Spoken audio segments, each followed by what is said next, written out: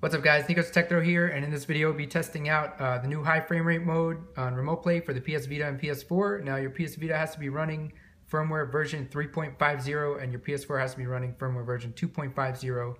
Uh, and basically it's very easy, uh, all you have to do is go into your PS4 link app and there's a setting to toggle uh, via standard and high frame mode right here on the bottom right in the settings change your video quality for remote play and the frame rate here you'll see standard or high. Let's go ahead and try standard. We're going to be trying this with uh, DMC definitive edition which runs at 60 frames per second. Uh, so we'll try it in standard mode first which is the uh, regular old remote play mode and see how it runs and then we'll switch over to high frame rate mode and see how it runs there. Don't worry there are no spoilers in this video. This is Vergil's Downfall DLC uh, so if you didn't know there was DLC, spoiler alert, but there is DLC. and it's been out for a while, so uh, this is just the beginning. I'm about 20 minutes into the DLC here. Uh, so yeah, here it is. So this is running at standard FPS mode or standard video quality mode.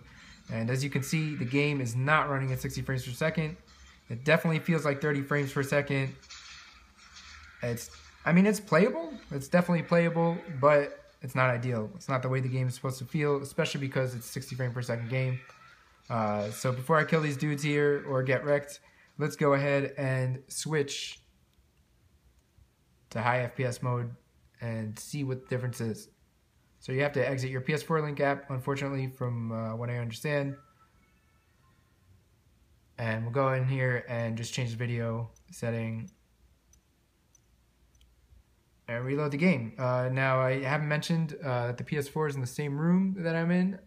It's about four feet away from me. Uh, router's about four feet away from me. Everything's about four feet away from me. So, uh, you know, the connection environment should be 110%. So everything else should be reliant on the way this works and the functionality.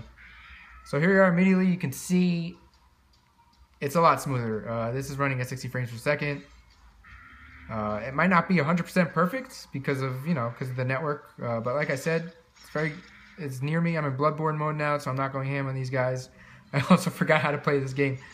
But anyway, uh, that's it. That's um, that's 60 frames per second. It's running nice and smooth. It's uh, it's even more playable than it was.